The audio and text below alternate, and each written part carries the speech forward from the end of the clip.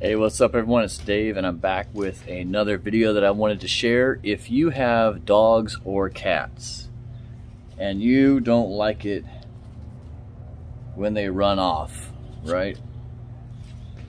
Let me tell you about this. This is a bite tag. My daughter first told me about it and then so um, we just recently purchased a giant schnauzer and then we have also a um, mixed breed uh, Dutch Shepherd. And I don't know if you love your animals as much as I love mine, but I love them a lot. You know, I mean, like, you know, Thor here, the giant schnauzer, he's just over here just chilling out, relaxing. Look at those eyes. right? So he's just over there chilling, relaxing. Xena's over here playing with her frisbee because she loves her frisbee. So inside this package, I got two ByteTags.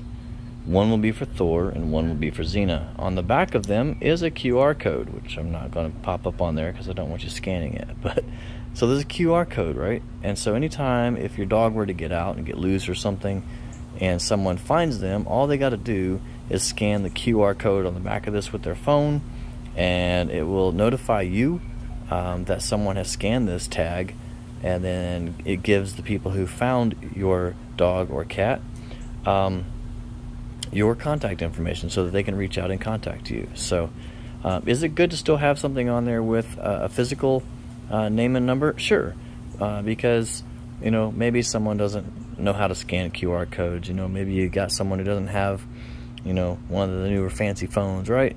Or they're just you know they just don't understand them. So, is it good to have something else on there? Sure. But this right here is amazing. And right now, I don't know how long they'll be on sale, but they're highly, highly, highly discounted. So, um, and then just use my code and the link there for a discount. And if you have any questions, uh, feel free to hit me up. But these will be going on my two dogs here in about two minutes. All right. So thanks for watching. If you have any questions, hit me up. Take care. God bless. So here's Thor and he's sleeping right now, but you'll see on his collar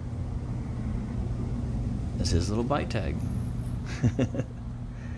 so yeah, highly recommend these you all. Um, I may do another video, I'm not sure yet, uh, to show you kind of how it looks like on the screen on the app that you can use, but it's super cool and I think that I think once you get these it will just provide uh, just a little more peace of mind um, that way you always know where your pup's at. All right.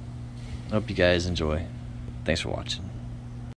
When life keeps falling and wonder where he is in all this mess, he's right there to guide you. Unseen, you're not alone.